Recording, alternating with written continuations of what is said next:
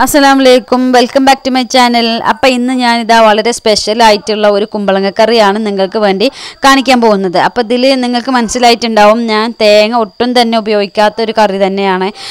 കുമ്പളങ്ങ കറി എന്ന് പറയുമ്പോൾ തേങ്ങ ഇല്ലാത്തൊരു കുമ്പളങ്ങ കറി ചിന്തിക്കാൻ പോലും പറ്റില്ല. പക്ഷേ ഇത് വളരെ സ്പെഷ്യൽ ആയിട്ടുള്ള ഒരു കറിയാണ്. വളരെ പെട്ടെന്ന് തന്നെ നമുക്ക് ഉണ്ടാക്കാൻ പറ്റും. അപ്പം ഞാൻ കറി ഉണ്ടാക്കാനായിട്ട് ഇത്ര പോകുന്നൊരു പീസാണ് എടുത്തിട്ടുള്ളത്. ഇതിപ്പോൾ നമ്മുടെ വീട്ടിൽ തന്നെ ഉള്ളതാണ്. അപ്പോൾ നല്ല ടേസ്റ്റ് ആയിരിക്കും. വളമൊന്നും ഇടാത്ത നല്ല ഫ്രഷ് ആയിട്ടുള്ള ഒരു കുമ്പളങ്ങ കിട്ടിയിട്ടുണ്ട്. അപ്പോൾ നമുക്ക് തേങ്ങ ഇല്ലാതെ എങ്ങനെ ചെയ്തെടുക്കാം എന്നുള്ളത് നമുക്കൊന്ന് നോക്കാം. അപ്പം ഞാൻ അതിനായിട്ട് ഇതൊന്ന് കട്ട് ചെയ്തെടുക്കുന്നുണ്ട്. അപ്പം ഇനി കറിക്കുള്ള പീസസ് ഞാൻ ഇതാ ഇതുപോലെ കട്ട് ചെയ്തെടുത്തിട്ടുണ്ട്. നമുക്കതിലേക്ക് ആവശ്യമായിട്ടുള്ള മറ്റ് ഇൻഗ്രീഡിയൻസ് എന്തൊക്കെയാണെന്ന് നോക്കാം. അപ്പം ഞാനിത് കുമ്പളങ്ങ കഴുകി വൃത്തിയാക്കി വെച്ചിട്ടുണ്ട്. പിന്നെ അതിലേക്ക് വേണ്ടത് പരിപ്പാണ്. പരിപ്പ് ഇതാ ഇതുപോലുള്ളത് നമ്മൾ കടയിൽ നിന്നൊക്കെ വാങ്ങുന്ന പരിപ്പാണിത്. അപ്പോൾ പരിപ്പ് പലതരം വ്യത്യാസത്തിലുള്ള പരിപ്പുകളുണ്ട്. അപ്പോൾ ഈ കറിക്ക് ഇതാ പരിപ്പായിട്ടോ നല്ലത്. ഇതിപ്പോൾ നമുക്ക് പിന്നെ കിറ്റിലൊക്കെ കിട്ടിയതുപോലത്തെ പരിപ്പാണ്. അപ്പോൾ ഇത് നല്ല ഹാർഡായിരിക്കും മറ്റേത് നല്ല സോഫ്റ്റാണ് അത് പെട്ടെന്ന് വേവാനായിട്ടും പറ്റും. രണ്ട് വിസിൽ വന്നാൽ തന്നെ നല്ലോണം വേവായിട്ട് വരും. അപ്പം നമ്മൾ കുക്കറിലാണ് ഇത് ചെയ്യുന്നത്. അപ്പോൾ അതുകൊണ്ട് തന്നെ വേഗമായി കിട്ടും. ഇനി അതിലേക്ക് ഒരു തക്കാളി കൊണ്ട് എടുത്തിട്ടുണ്ട് ഞാൻ പിന്നെ അതിലേക്ക് അത്യാവശ്യം വലിപ്പമുള്ള ഒരു സബോള എടുത്തിട്ടുണ്ട്. പിന്നെ നാല് വെളുത്തുള്ളി എടുത്തിട്ടുണ്ട്. അപ്പോൾ പരിപ്പുള്ളതുകൊണ്ട് ഗ്യാസിന്റെ ഒരു പ്രശ്നം ഉണ്ടാവുകൊണ്ട് അപ്പം ഞാൻ വെളുത്തുള്ളി ഇട്ടിട്ടുണ്ട്. പിന്നെ അതുപോലെ ഒരു ടീസ്പൂണ് മുളക് പൊടി അര ടീസ്പൂൺ മഞ്ഞൾപ്പൊടിയാണ് ഞാൻ എടുത്തിട്ടുള്ളത്. അപ്പോൾ ഞാനിതാ പരിപ്പ് കഴുകി വൃത്തിയാക്കി കുക്കറിലേക്ക് ഇട്ട് കൊടുത്തിട്ടുണ്ട്. ഇനി അതിലേക്ക് ആ സബോളയും കൂടെ ഇട്ട് കൊടുക്കുക.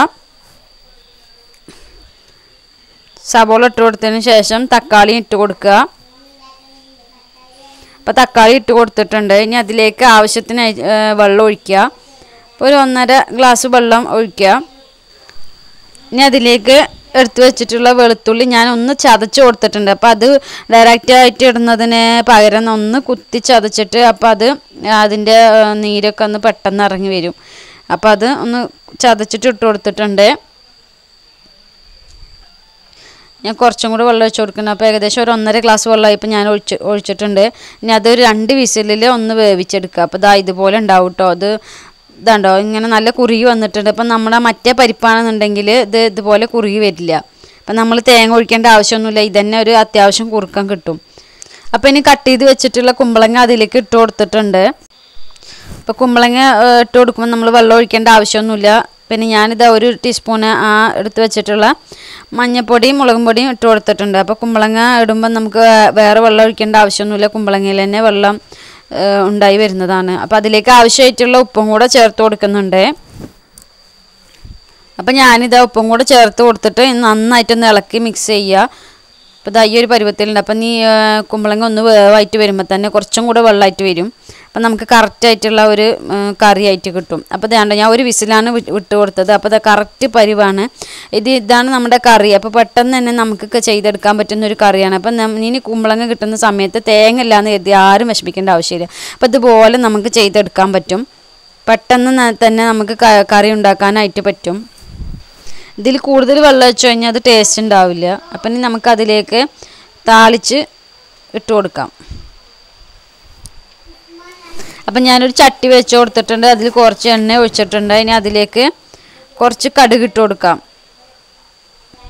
അപ്പം ഞാൻ ഏകദേശം ഇതാ ഇത്ര കടുക് ഇട്ടിട്ടുണ്ട്. അപ്പോൾ അതിലേക്ക് ഇട്ട് കൊടുത്തിട്ടുണ്ട്. ഇനി അത് പൊട്ടാനായിട്ട് ഒന്ന് വെയിറ്റ് ചെയ്യാം. അപ്പോൾ ഇവിടെ അധികം കുമ്പളങ്ങ കറി വെക്കുമ്പോൾ തേങ്ങ അരക്കുന്നത് ഇഷ്ടമല്ല പൊതുവേ കുമ്പളങ്ങ കറി ഇഷ്ടമല്ല വല്ല സാമ്പാറിലോ അല്ലെങ്കിൽ ഇടയ്ക്കൊന്ന് മോര് കറി വെച്ചാലായി. അല്ലെങ്കിൽ പിന്നെ ചിക്കൻ ആകുമ്പോൾ തേങ്ങ അരച്ച് വെക്കുക കേട്ടോ. ചിക്കനിൽ കുമ്പളങ്ങിട്ട് വെക്കുമ്പോൾ തേങ്ങ അരച്ച് വെക്കുമ്പോൾ നല്ല ടേസ്റ്റാണ് കഴിക്കുക അങ്ങനെ എല്ലാവരും കുമ്പളങ്ങ കഴിക്കുക അതല്ലാതെ വെറുതെ കുമ്പളങ്ങ തേങ്ങ അരച്ച് വെക്കാറില്ല. അപ്പോൾ വെറുതെ കുമ്പളങ്ങ വെക്കുകയെന്നുണ്ടെങ്കിൽ ഞാൻ ഇങ്ങനെ തേങ്ങ അരക്കാണ്ട് ഇങ്ങനെ താളിക്കുക ചെയ്യുക അപ്പോൾ ഇതാണ് ഇവിടെ ഇഷ്ടമുള്ളതും ഇങ്ങനെ തന്നെയാണ്. അപ്പോൾ ഇതാ കടുക് പൊട്ടി വന്നിട്ടുണ്ട്. അതിലേക്ക് കുറച്ച് കറിവേപ്പില ഇട്ട് കൊടുത്തിട്ടുണ്ട്. ഇനിയിപ്പോൾ ഇതാ നമ്മുടെ കറി ഇതാ റെ- പിന്നെ റെഡിയായ കറി ഇതിലേക്ക് ഒഴിച്ചു കൊടുക്കുകയാണ് താളിച്ചത് ഒഴിച്ചു കൊടുക്കുകയാണ് അപ്പോൾ അത്രയേ ഉള്ളൂ. നമ്മുടെ കറി പെട്ടെന്ന് ചെയ്യാൻ പറ്റും. വളരെ പെട്ടെന്ന് തന്നെ അഞ്ച് മിനിറ്റ് തൊട്ട് തന്നെ കറി നമുക്ക് ഉണ്ടാക്കാൻ പറ്റും.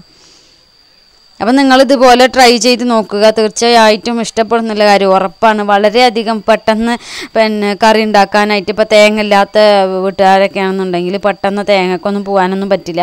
അപ്പോൾ ഇതുപോലെ ഉണ്ടാക്കാമെന്നുണ്ടെങ്കിൽ വളരെ എളുപ്പമാണ്. അപ്പോൾ നിങ്ങൾ ഇതുപോലെ ഉണ്ടാക്കിയിട്ട് നിങ്ങളുടെ അഭിപ്രായങ്ങളൊക്കെ നിങ്ങൾ കമന്റിലൂടെ അറിയിക്കുക.